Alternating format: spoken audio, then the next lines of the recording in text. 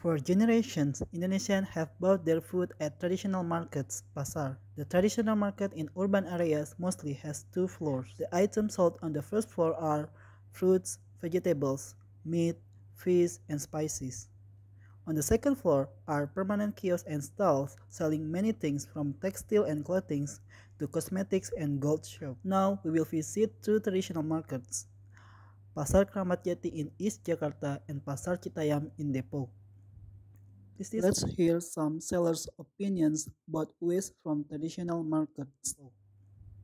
This is Mr. Ervan, a fruit seller who has been selling fruits in this Pasar Kramat Jati for over a decade. macam-macam ada apel, pear, Apel, buah naga. jeruk juga ya Pak. Toya sampai jam?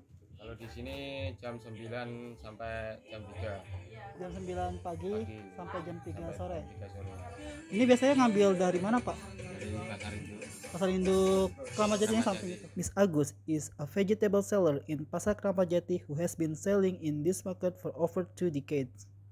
She sells vegetables in the night market from 5 p.m. to 8 a.m. in the morning and continues selling her vegetables in her kiosk while waiting for the night market again.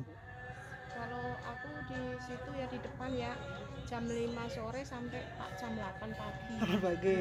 Kalau sini kan ibaratnya masuk buat gerobaknya lah, Ah. buat itu naruh ya kalau ada yang belanja ya alhamdulillah kan gitu.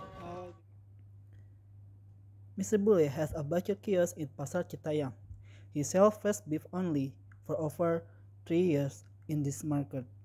Bule ya? Ya. Di sini jual apa aja, Pak? Daging. Daging apa aja nih? Ini lokal sapi lokal. Oh, daging sapi lokal. Ya. Oh. Emang ini jualannya dari jam berapa sampai jam berapa?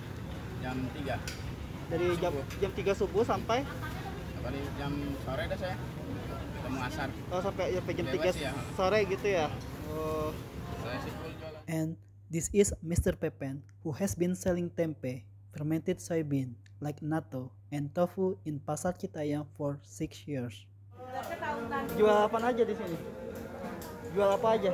jual tempe sama tahu Tempe sama tahu Ya. gitu. Eh, di, di sini eh, jualnya dari jam berapa sampai jam berapa? dari jam 4 sampai jam 3 sore Dari jam 4 pagi sampai pagi, jam jam 3 sore. 3 sore.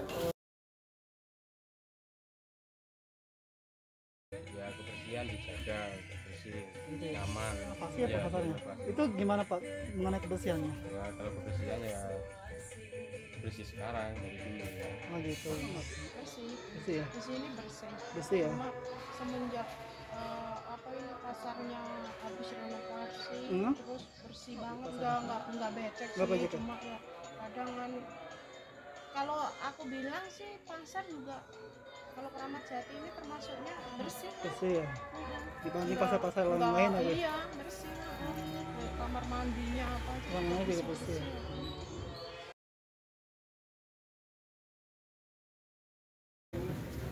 Kurang kurang memadai. Kurang bersih ya?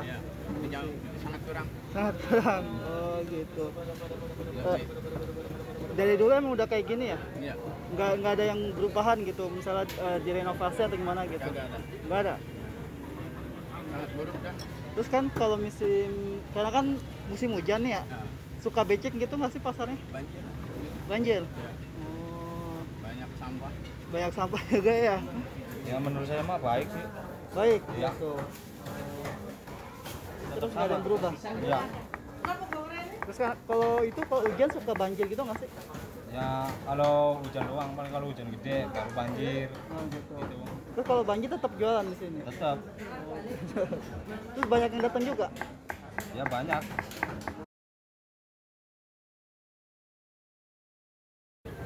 Dari itu MCK. MCK. Oh gitu. Jadi ngambil air dari sana gitu ya.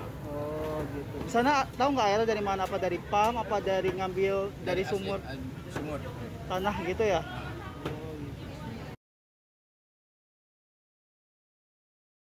Ya, kalau sampah tempat saya sendiri ya aku kumpulin ntar ada yang buang gitu. Apa Bu? sampah apa paling sampah sawi sawi aja kadang diminta buat makan lele Oh gitu. nggak ada kalau ini mah mas Ya berarti kalau kayak sa- Mm-mm. kayak kan yang ada sawi putih sawi hijau tuh ditempatin tuh kasih sama orang buat itu lele makol doang gitu oh, gitu. kalau. Jadi kita kalau kita ini ya nyiapin buat orang ya Ah. langsung dikasih plastik Oh, gede gitu. gitu. plastik putih Oh, gitu gitu. biar buat makan itu kalau enggak ya ditumpuk ntar udah diambil sampah Oh, gitu. orang paling dikit sampahnya Eh, terus kalau misalnya Bang Bule eh, ada sampah juga nggak kira-kira kalau jualannya sini? ada Sampah apa tuh? sama plastik kali Sampah plastik ya? Iya. Itu biasanya dibuang ke mana? dikemas ntar ada yang angkut Oh gitu. sampah ya semacam ini daun Daun gitu ya. Sama plastik gitu ya. pokoknya apa aja lah iya kumpul di sini kumpulin bawah. ya di bawah Oh gitu. Terus nanti ada yang dia- ngambil. yang ngambil ya ada petugasnya sendiri yang nyapu tiap sore Oh gitu. Jadi Bapak tinggal ngasih ke Ya. dia gitu ya. Pembersihnya sendiri juga ada ada yang langsung diminta ada ini pasar ini pembersihan itu dibersihin tuh disapu ada kadang dua kali tiga kali mas Oh gitu. bersih langsung ya kalau sehari itu dua kali Hmm. itu ada gantian ma- siang malam gitu udah ada Hmm.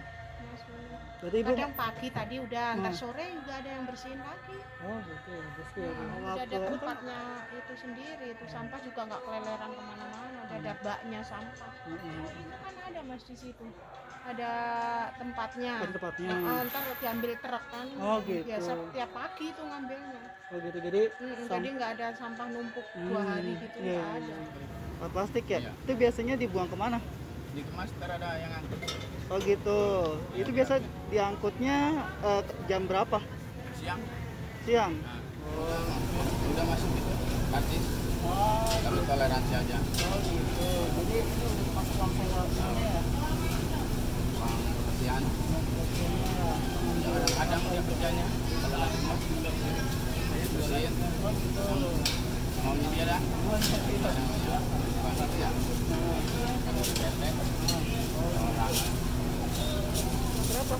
Kalau ngambil tuh jam 12 jam 12 12 siang tuh bayar harian pak Dari harian. ya Itu bayar langsung ke itunya atau Eh, bayar langsung, langsung tukang sampahnya Uang sampahnya. ya setiap hari kalau pagi Hmm.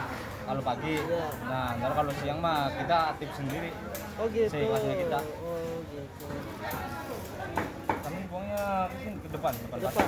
ya Nanti eh, bawa ke sana. ntar depan. ada yang ngambilin lagi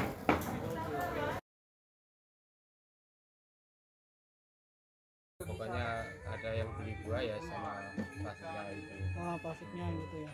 Karena kan ada plastiknya nggak dihitung ya nggak tentu sih nggak tentu ya. nggak tentu Oh, gitu. kalau rame bi- biasanya ya satu kantong satu paket dulu ya habis kalau sepi ya kadang dua dua anu aja udah masih nggak tentu sih kalau kosong sebenarnya mas ya kasihan kalau pas kalau pas dia nggak bawa kantong ya kita Hmm. ka- kasih kantong kalau enggak ya kalau dia bawa ya langsung dimasukin kantong yang belanja Oh gitu. Mm-mm. Apa kalau nggak ini nggak jadi belanja kan juga kasihan Oh, Ntar itu juga bisa buat tempat sampah lagi gitu oh, ya, bisa di dipakai. rumahnya Iya, ya bisa dipakai lagi ya. Jadi. Biasanya berapa banyak tuh plastik sehari kan?